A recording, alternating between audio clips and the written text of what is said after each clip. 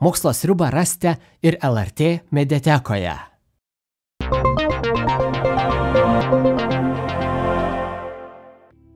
Sociologiniai tyrimai rodo, kad korupcija gyventojų tarpe mažėja.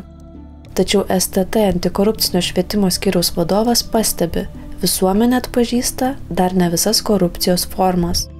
Kas yra įdomu, jeigu prieš 25-20 metų įsivaizdavom, kyšį duodu, kyšį paimu, va čia yra korupcija, taip tai yra ir lygiai taip pat dar dabar pasitaiko tokiu atveju, bet dabar jau ir patys gyventojai atpažįsta, kad mm, interesų konfliktai, piknaudžiavimas asmeninis pažintimis, politinis protegavimas yra tos naujosios korupcijos formos, kurios yra sunkiau apčiuopiamos bet lygiai taip pat jos yra labai pasitaikančios mūsų valstybei. E, kalbant apie tos smulkę korupciją arba tą piknaudžiavimą, kavas, šokoladas, saldainiai, nekalbant apie alkoholį arba jau vokelius, tai lygiai taip pat e, gali ir yra prilyginama korupcijai. Kodėl? Nes e, žmogus už savo darbą jau gauna atlygį iš valstybės, jau visuomenė ir gyventojai yra susimokėję mokesčius ir būtent iš tų mokesčių jau mes esam, jeigu taip grubiai pasakysiu, susimetę ant atlyginimų, kuriuos gauna mūsų valstybės tarnautojai. Jauna karta, jos vis daugiau Lietuvoje atsiranda, kurie jau nebesupranta, kam reikia gydytojui ar mokytojui ar, nežinau, policininkui sustojus duoti kyšį. Kai mes kalbame su ta vyresnėje kartą, sakykime, jie žino, kad korupcija yra blogai, tik jie niekaip nesujungia to davimo gydytojui, kad tai yra korupcija. Arba taip, jie žino, kad pinigų gal negalima duoti, bet šokoladas, vaisiai, visos kitos materialinės gerybės, kurias gali pačiupinėti, tai jiem atrodo nieko tokio.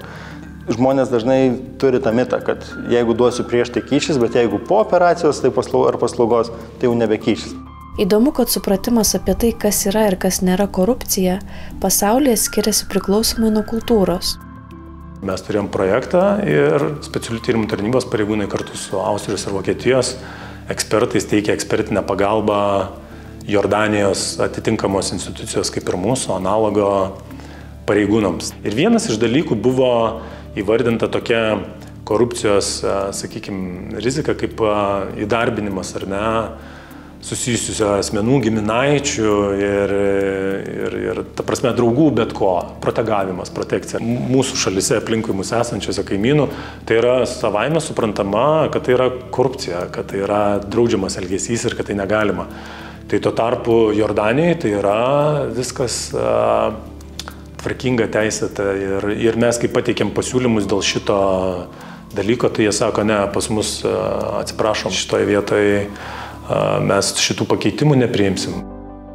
O kokiamis savybėmis turi pasižymėti žmogus, norintis tapti antikorupcinės institucijos pareigūnu? Vienas tokių gajausių mitų būtų, kad į tarnybą neįmanoma papulti, jeigu nesi sukaupęs ilgametę patirtį. E, tai labai norėčiau tą mitą paneigti. Dar vienas toks tikrai gajus mitas, kad mes ieškom tik teisinį išsilavinimą įgyjusių žmonių. Ne, tarnyba veikia keturiom kryptim, bet to yra padaliniai, kurie lygiai taip pat siekia bendrų tarnybos tikslų. Tai ir tarptautinis bendradarbiavimas, komunikacija, administravimo padaliniai, žmogiškiai ištekliai. Tai tikrai išsilavinimas mūsų pareigūnų gali varijuoti ir nuo inžinieriaus, komunikacijos, istorijos, kriminologijos. Taip atranka trunka ilgiau nei privačiam sektoriai. Bet jeigu žmonės turi tą tvirtą vidinę motivaciją, jeigu žmonės e, atliepia tas vertybės, e, kurias e, puoselėja specialiųjų tyrimų tarnyba, nuo tokios kaip lojalumas, skaidrumas, sažiningumas, iš tikrųjų pagarba Lietuvos konstitucijai, pamatiniam žmogaus teisėm, tai yra labai tvirtas žingsnis praverti tarnybos duris.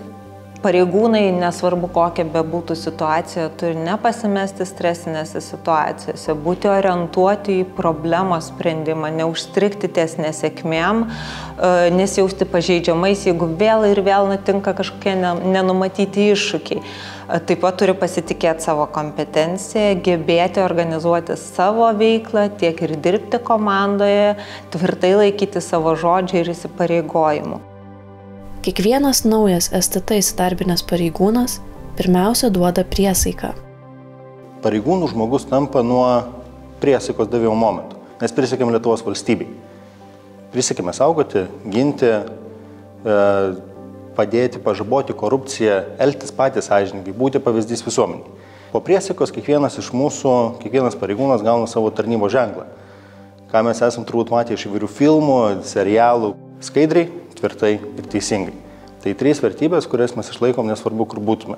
Nuo priesikos davimo momento esame tie, kurie tarnauja Lietuvą ir tarnauja visą laiką. Ar mes būtume darbo vietoje, ar būtume už darbo ribų, ar tai būtų pietų pertrauka, kelionė į, iš darbo, laisvalaikis tavo, tu visą laiką lieki pareigūnų.